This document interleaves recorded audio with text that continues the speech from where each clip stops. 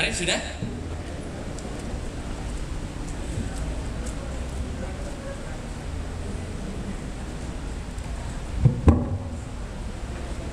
Oke sebelumnya biar kakak Arif agak semangat sedikit. Tepuk tangan untuk Arif Dewantoro. Waktu dan tempat kami persilakan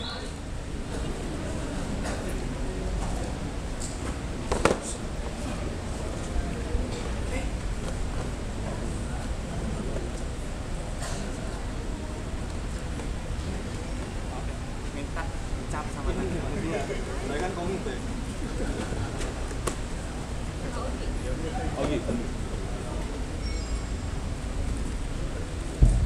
Assalamualaikum warahmatullahi wabarakatuh. Eh, saya akan membawakan materi tentang GSM Channel Request Flood.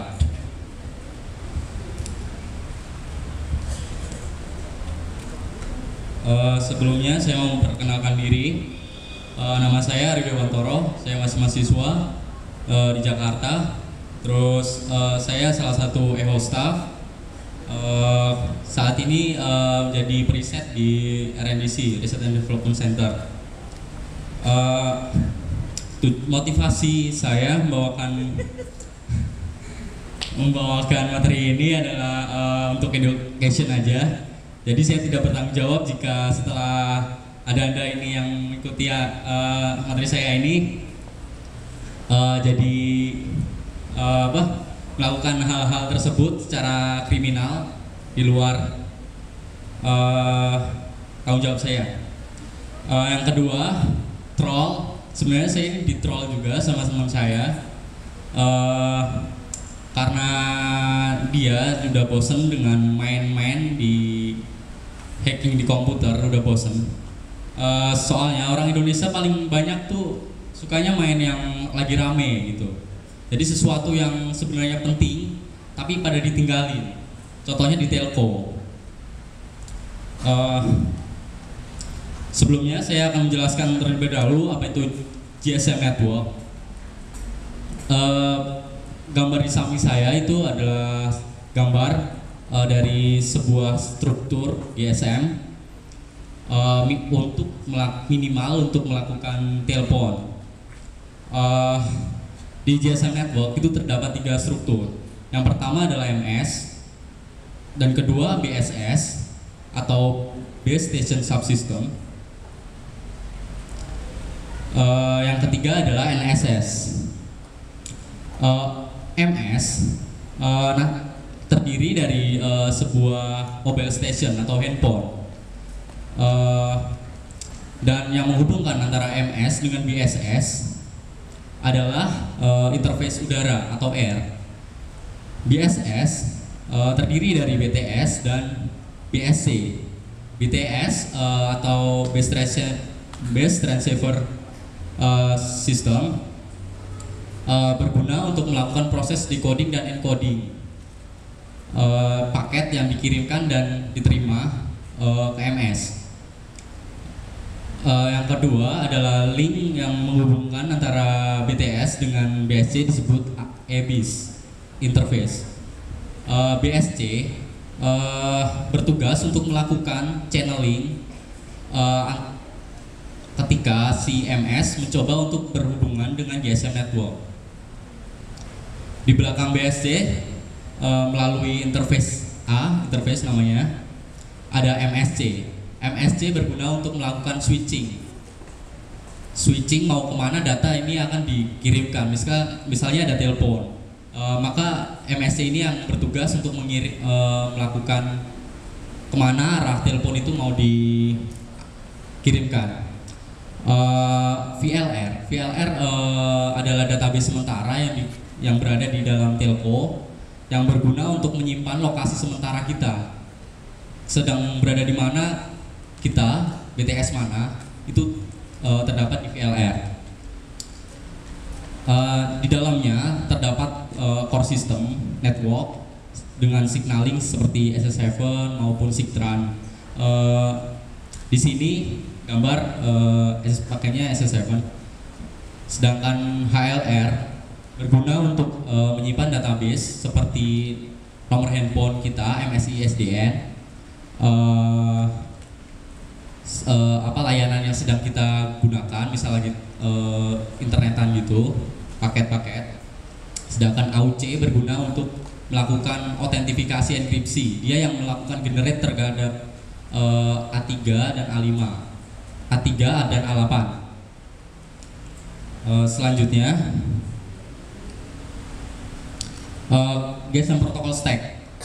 GSM protokol di sini sangat berbeda sekali dengan eh, protokol di TCP/IP, di mana setiap layernya eh, harus eh, setiap apa interface-nya hubungan antara interface itu memiliki eh, protokolnya sendiri-sendiri dan berbeda-beda. Misal eh, TCP, UDP kan kalau di TCP/IP. Kalau di sini banyak sekali berbeda-beda setiap layer dan itu harus saling terkoneksi dengan protokol yang sama. Eh, di sini saya akan lebih mendetailkan eh, pokok bahasan di layar MS Mobile Station karena pokok bahasan saya adalah attacking BTS. Eh, UM interface atau udara. Di sana ada tiga layer. Yang pertama layer pertama adalah RF yang berguna untuk eh, signaling, bukan signaling sih, eh, radio, radio. Yang kedua ada LAPDM. Contohnya adalah RFCN kayak yang kemarin Kang Ono jelaskan itu ada kanal-kanal di situ.